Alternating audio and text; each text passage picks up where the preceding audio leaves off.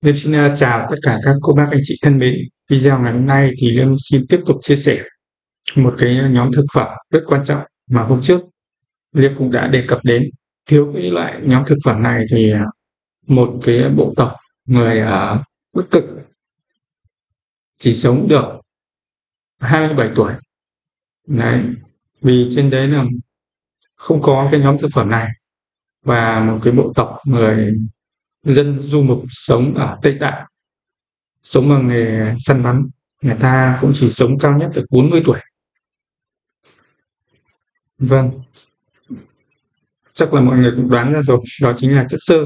Nó nằm trong cái nhóm thực phẩm tinh bột đường. Thì chúng ta sẽ đi nghiên cứu một là khái niệm, hai là phân loại, ba là ờ, vai trò và bốn là chúng ta sử dụng chất xơ nào cho tốt thì thứ nhất là khái niệm chất xơ là nhóm thực phẩm có nguồn gốc từ thực vật cấu tạo từ các carbon hydrate. Cơ thể chúng ta không hấp thu được không ờ, tiêu hóa được cái loại uh, chất xơ này nhưng nó có vai trò rất quan trọng đối với hệ tiêu hóa.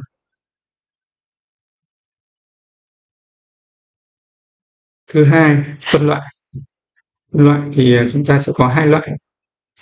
Thứ nhất đó là sơ đại thể hay là cellulose, hay là chất sơ không hòa tan. Thì cơ thể chúng ta không hòa tan được cái chất này, nó chính là một cái thành phần để tạo phân. Và những cái sợi cellulose, nó như cái chổi quét cái đường ruột của chúng ta, để đường ruột của chúng ta lúc nào sạch sẽ, khỏe mạnh. Đấy, cô bác anh chị thân mến, nếu như mà chúng ta tưởng tượng như mà chúng ta không có trộm quét cái ờ, chất thừa cặn bã ở trong đường ruột thì cơ thể chúng ta nó sẽ hỗn độn và bẩn thỉu như thế nào. Và chính cái nguyên nhân đường ruột bẩn thỉu như cái cống đen xì chính là nguyên nhân gây ra rất nhiều bệnh đặc biệt là bệnh ung thư.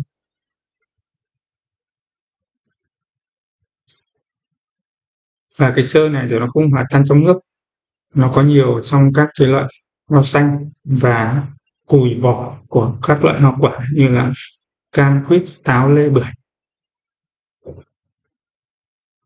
Thứ hai là sơ vi thể, hay gọi là sơ hòa tan trong nước.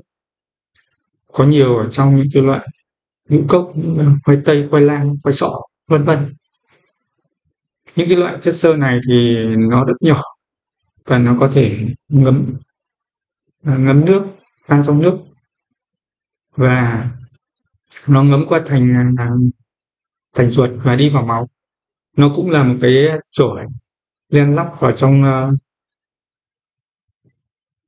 uh, mạch máu của chúng ta và quét sạch những cái mảng bám như là mảng sơ vữa của mạch máu giúp chúng ta giảm được cái nguy cơ bị uh, cao huyết áp mỡ máu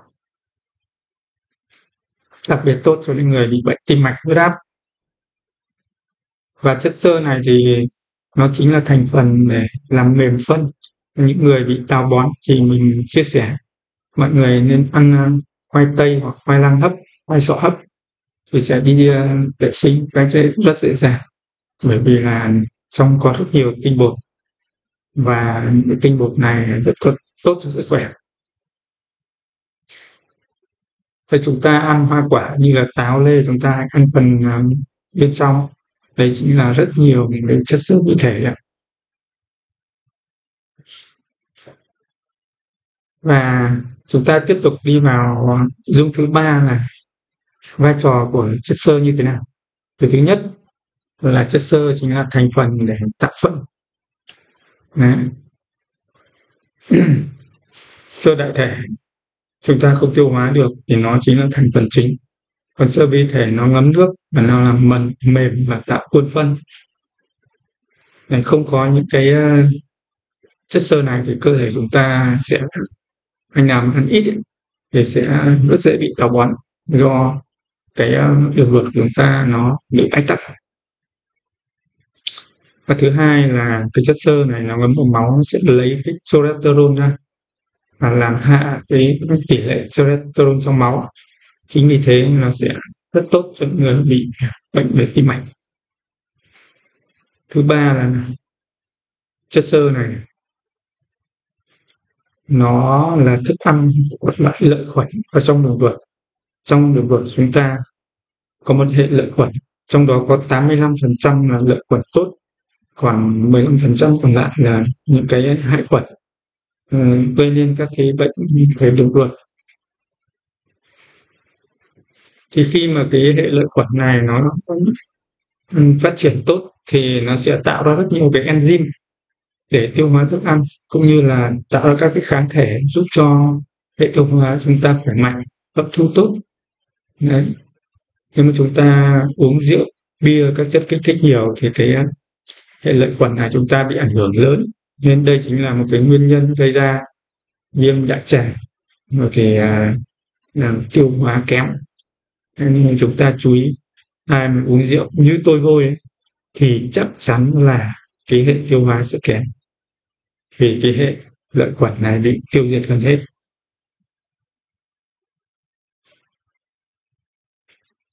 Đấy là những cái uh, uh, vai trò chính của chất xơ. Và à, chúng ta thấy được cái vai trò này.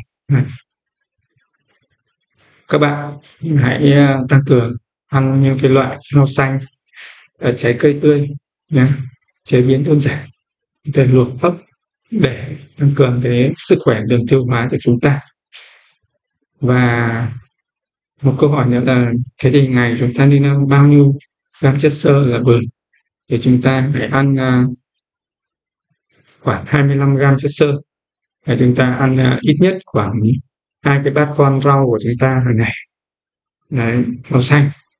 Ngoài ra chúng ta có thể ăn thêm khoảng 200 gram hoa quả như là táo lê chuối bưởi ổi đấy thì nó sẽ cung cấp một lượng vừa đủ chất xơ cho chúng ta. Liêm cũng đã đi à, gặp rất nhiều người rồi. Họ không bao giờ thèm ăn chất xơ trên bàn bởi vì là nó nhạt nhẽo và vô vị đấy chúng ta phải cái nội dung chia sẻ ngày hôm nay thì mong mọi người hãy bỏ cái tư duy chúng ta hãy ăn rau đầu tiên. Thì khi mà rau vào thì nó sẽ làm giảm cái hấp thu đường vào máu. Nên cơ thể chúng ta ăn sẽ cảm giác uh, lâu ngon hơn. Đấy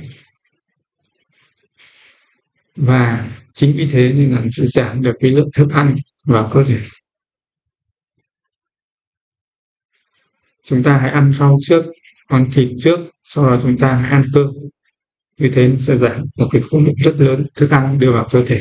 Đây chính là một bí quyết ăn ngược của người nhật mà mình khuyên các bạn nên áp dụng để giảm cân, giảm cái lượng thức ăn cho vào cơ thể nhé.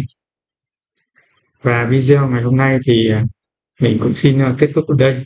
Nếu tất cả các cô bác anh chị thấy video của mình có ý nghĩa thì hãy đăng ký kênh và chia sẻ đến tất cả mọi người để mình có cái động lực để làm những cái video tiếp theo. Xin chào và hẹn gặp